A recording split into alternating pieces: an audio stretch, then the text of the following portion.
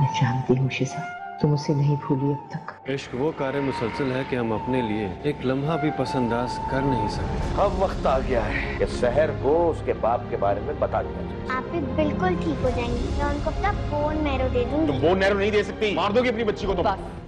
मेरी नन्ही परी देखिए आज रात 9 बजे सिर्फ़ ए आर डिजिटल पर।